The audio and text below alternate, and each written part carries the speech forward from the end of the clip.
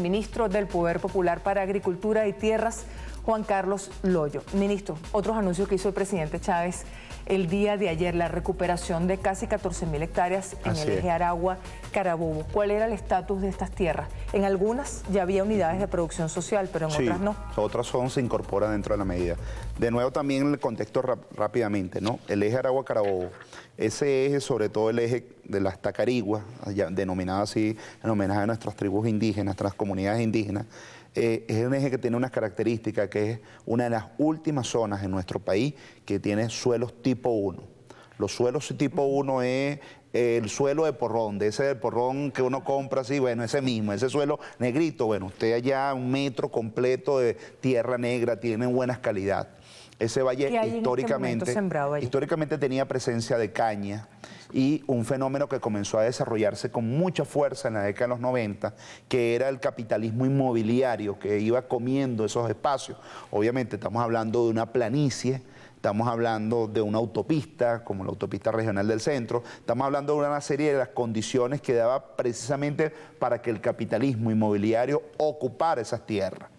Eh, hace cuatro años el comandante presidente aprueba un decreto el decreto 5.317, si no me equivoco, el cual busca la preservación de los suelos, es decir, evitar el capitalismo inmobiliario que venía comiéndoselo y además enfrentar la subutilización de esos suelos a través de plantaciones de caña. No debería sobre ser todo, caña, No, no debería ser caña, sobre todo aquella caña, y aquí voy a separar porque hay desde algunos pequeñitos que estamos trabajando con ellos, hasta unas grandes extensiones en las cuales la caña era te lo coloco un ejemplo, era regada con todo el sistema de agua servida, aun cuando la caña la puede soportar tranquilamente por, su conformación vegetal, eso te da un ejemplo de lo que era el tipo de rapiña que se practicaba allí iniciamos un proceso de recuperación de tierra y en el día de ayer, el presidente lo que plasmó era ya la necesidad de que todas esas unidades productivas, más las tierras que se le incorporaran, que suban 14 mil hectáreas, ahora formen parte de una empresa socialista. Eso significa que lo que hemos desarrollado hasta ahora, que era la siembra de maíz, sobre todo de maíz semilla, de maíz consumo, un poco más de dos mil y tantas hectáreas, 2.500 hectáreas que se han venido sembrando. Eso significa que el esfuerzo de las casas de cultivo, que allí se desarrollaron cerca de 100 hectáreas en diferentes lotes de casa de cultivo. Eso significa incorporar lo que estaba en el antiguo peaje de Valencia, en la entrada del túnel La Cabrera, lo que es hoy allí un espacio agropatria, un espacio para el almacenamiento, un espacio para las casas de cultivo, un espacio para el almacenamiento de semillas. Ahora todo eso va a ser un gran corredor estratégico que va a estar desarrollada por esta empresa social. Fundamentalmente para cereales, por lo que usted plantea. No, fíjate que son unos suelos, y lo decía muy bien el presidente ayer, actos para cereales actos para leguminosas, caraota, frijol, sobre todo en los momentos en donde tenemos dificultades por el tema del estrés hídrico, de la falta de agua, actos para hortalizas, el plan que se quiere desarrollar allí. Nosotros tenemos un grupo de casas de cultivo, hemos tenido muy buenos eh, niveles de producción, tenemos que seguir mejorando las casas de cultivo, cada una tiene posibilidad de sacar miles de toneladas, sobre todo en los tres rubros esenciales del consumo del venezolano, tomate, cebolla y pimentón. La idea es que allí haya el gran corredor de casas de cultivo, ¿para qué? Para abastecer sobre todo el área metropolitana de Caracas, Maracay y la propia Valencia. De allí podría salir todo lo que consumimos quienes vivimos en Caracas? Sí, cómo no. Claro, el consumo, el consumo de hortalizas en, el área metropolitana, y, aquí viene, por cierto, unas campañitas con, con, nuestra, con todos los que compramos hortalizas, desde la compañera ama de casa hasta el hombre que está trabajando y que también la hace. Nosotros tenemos una característica con las hortalizas. Caracas, el área metropolitana, consume semanalmente unas 2.000 toneladas de las cinco principales, tomate, cebolla, pimentón, papa y zanahoria. Esas 2.000 toneladas vienen de varios puntos en el país, pero a través de un sistema que termina siendo bien perverso por la cantidad de actores que están en la cadena. Ya nosotros recientemente, aplicando la ley de costo y precio justo, acordamos con los productores de hortalizas, tanto los financiados por Agrovenezuela como los privados, una banda de precios que le dé un mínimo a ellos, pero un máximo que no afecte al público. Y además traer esas hortalizas directamente al área metropolitana como tal. ¿A través de qué? De nuestra red de abastecimiento mercal, de todo lo que significa, este, bueno, en general, esa gran red de abastecimiento que hemos estado trabajando. Sea, que en realidad sería fortalecer por este supuesto, este plan, fortalecer el porque ahora, además de lo que se trae de Keyboard cuando se le compra directamente a los productores, lo que se adquiere en Trujillo, lo que se adquiere en el estado Táchira, además vamos a tener en el eje Aragua-Carabobo toda una posibilidad real de traer esos insumos para nuestra ciudad. Usted cita Keyboard y el presidente Chávez también anunció la aprobación de recursos para Mm, fortalecer una empresa de producción social también allí en, en Kibor. Sí, recordemos que en Kibor estamos próximos el año que viene, vamos a hacer una de las obras más emblemáticas de la revolución, el trasvase que va a permitir tener agua a todo lo que es la superficie del Valle de Quibor, un poco más de 20 mil hectáreas que actualmente se encuentra en explotación. De allí vienen importantes niveles de producción nacional, el 60% del consumo de cebolla y otras cosas que allí se producen. ¿Cuál es el tema con Kibor? Que ahora se trata de instalar un gran sistema de riego que dé agua y complemente la tierra. Ahora, eso supone algo necesario, que es revisar el modelo, el modelo de explotación social que allí tiene, caracterizado por qué?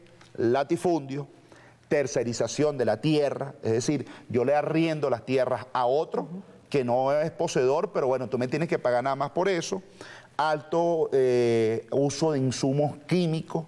De hecho, eh, Kibor tiene una presencia allí que hemos detectado que hay que trabajarla con mucho cuidado, los niveles de, de consumo de agroquímicos que se han tenido.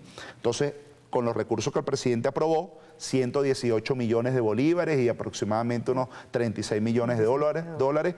Continuaremos lo que es el establecimiento del sistema de riego para una primera etapa, que son aproximadamente unas 4.900 hectáreas, y ahí es donde cuando el presidente nos hace el llamado de manera correcta y dice, bueno, no puede ser agua para un modelo depredador, tenemos que recuperar tierra con la finalidad de allí desarrollar también las unidades de propiedad social tanto en manos de los campesinos como directamente eh, gerenciados por el gobierno. Serían dos cosas entonces, ministro, por lo que plantea. Con los recursos que anunció el presidente Chávez el día de ayer, se va a garantizar el sistema de riego para números redondos 5.000 hectáreas, 4.900. En una primera etapa. En una primera etapa, 4.900 hectáreas. Pero esto implica que va a haber un proceso de rescate de tierras. Sí, por supuesto. Ya el mismo presidente lo mencionaba en el día de ayer. ¿Cómo lo va a hacer? A través de nuestra ley. La ley de tierra en ese sentido tiene claros elementos, ahí se presentan todos los elementos. Todos son tierras de la nación. Todos los estudios, recuerdo, perdóneme mi mala memoria, eh, una serie de, trabajos que se han hecho bien interesantes en el Valle de Quibor por los eh, historiadores, que han evidenciado cómo eso fue un despojo de las comunidades indígenas. Ahí no existe propiedad privada en primer lugar. Ni hay documentos que avalen. No, no, no, no existen. Hay suficientes estudios que lo han evidenciado. Lastimosamente mi mente no es, pero... Ahí viene churías en todo sí, ahí viene Jorias, ahí viene churías. Cuando decía lo de mi mente que hay historiadores que este tema lo han aproximado muy bien. Además, por ejemplo, hay un primer sector que está conformado por cerca de 2.900 hectáreas. Del primer sector que va a tener acceso al agua. En esas 2.900 hectáreas, tres personas tres personas tienen el dominio del 75% de las tierras. ¿Quiénes son esas tres personas? Eh, en su momento yo sí ahí tengo que respetar los procedimientos administrativos que sean notificados. Sí, como no. Abiertos. Sí, como no. exactamente. No, yo ya abierto, ya con la orden inclusive del presidente, ya procedimientos muy apegados a la ley de tierra. Además, hay algunos de esos fondos que las propias comunidades allá en este momento están llevando a cabo la lucha y exigiéndole al gobierno que sean recuperadas esas tierras. ¿Qué cultivos se quieren privilegiar allí, al menos en esa primera etapa, con ese sistema de riego que va a construir? El Estado 4.900 hectáreas. Seguiremos con el patrón de las hortalizas.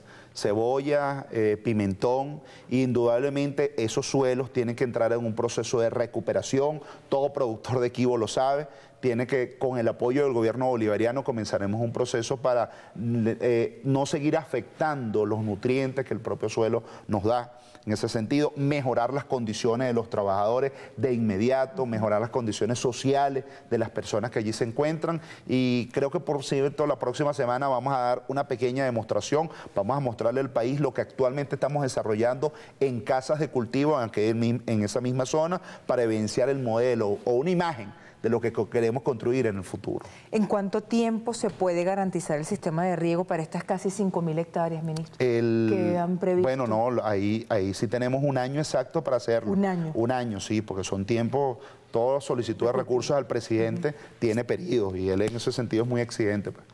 ¿El resto de las hectáreas se irían incorporando paulatinamente? Incorporando a medida que se va abasteciendo de mayores niveles de agua todo lo que es el Valle de Kiva. Recordamos que el agua viene del sistema Yacambú-Kiur, que fue abandonado durante La Cuarta República, cualquier cantidad de millones que se fueron allí. Hoy la revolución lo ha retomado y el compromiso también del gobierno de colocar a funcionar el sistema Yacambú-Kivu a, a finales del próximo año. Suata, en los poquitos minutos que nos quedan, tratemos de hablar de Suata y de hablar del Plan Ganadero Nacional, ministro. Y bueno, y lo que nos quede lo podemos abordar. Suata, una cosa bien específica. recordamos que es Estado Aragua. Suata es un embalse de cerca de 358 hectáreas un embalse hecho para un sistema de riego, pero además que tuvo una característica, que lo que iba a ser riego para muchos se convirtió solamente en el aprovechamiento de unos pocos. ¿De quiénes? De muchos de los cultivos de caña que se encuentran en los alrededores. Adicionalmente en el embalse de Suata se generó un proceso productivo de granjas avícolas, granjas de porcino. Aprovecho para decirle a la Asociación de Productores Porcinos que me han estado enviando mensajes, yo venía del Estado Apure, nos vamos a reunir en cuestión de 48 horas porque aquí queremos distinguir una cosa es la buena y la correcta producción de porcinos, que además ha tenido un incremento sustancial en nuestro país de manera exitosa con el campesino, con el productor que en el marco de la revolución sigue produciendo. Y otra cosa es la producción de manera ilegal que termina llevando los afluentes a este embalse y dañando el ecosistema existente. ¿Se va a marcar la diferencia? Totalmente. En este ahí, caso, son patrones produciendo bien. se van a mantener. Exactamente. Quienes estén produciendo, contaminando el embalse van a ser que ya nosotros lo decimos de manera categórica porque ya recorrimos todo el área y al recorrer el área ya sabemos el área a los alrededores que se tiene que recuperar. Ya sabemos además que ahí vamos a plantear alternativas de reubicación a pequeños productores, a medianos productores y lo que es más importante, asentamientos campesinos como Primitivo de Jesús, como esos asentamientos que se fueron heredados de la vieja época, que eh, yo diría que los que se fajaron, pues, los que aguantaron neoliberalismo, los que aguantaron Cuarta República y que hoy están disfrutando del apoyo, ahora sí vamos a cristalizar el aprovechamiento del envase como un sistema de riego para esas comunidades.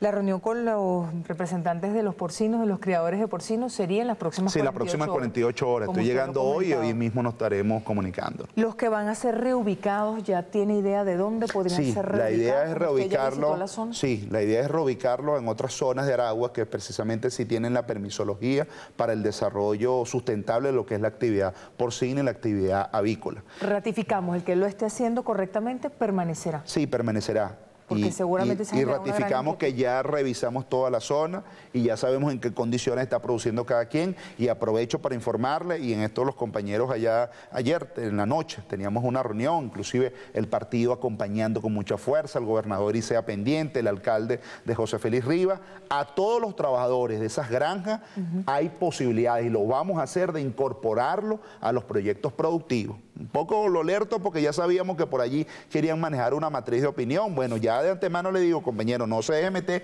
gato por liebre. Es en el gobierno bolivariano, el gobierno de Chávez, que usted tiene la posibilidad de encontrar trabajo decente, digno y además sin estar dañando a un tercero. ¿Se incorporarían a los proyectos productivos de este eje? Sí, correcto. Ese, es el planteamiento, tal cual, exactamente. En el caso que quieran aceptarlo, ¿no?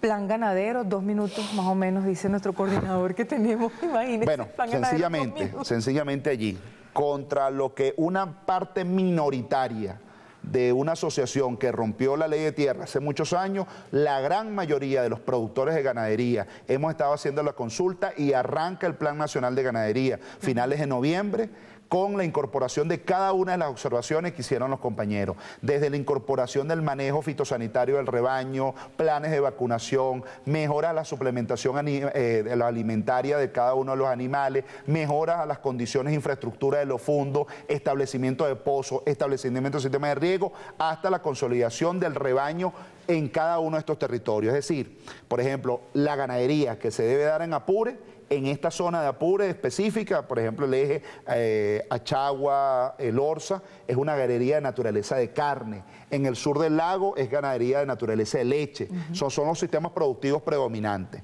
con todo lo que fueron ese proceso de consulta, arrancaremos el Plan Nacional de Financiamiento, pero no es solamente un financiamiento, compañeros, bien importante.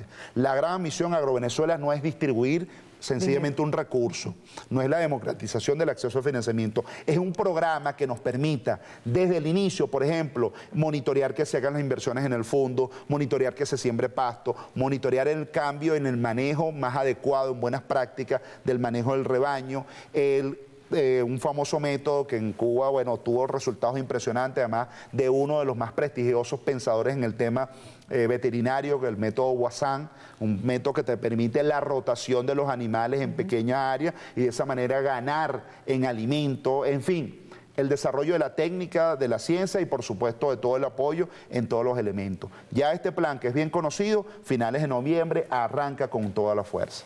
¿Usted descarta todas las observaciones de FENAGA? ¿No toma en cuenta ninguna? Bueno, sí, provocaba decir que es eso, FENAGA. Mire, con mucho respeto, con mucho respeto, de verdad, y respeto a todos, porque es nuestro deber ante nada.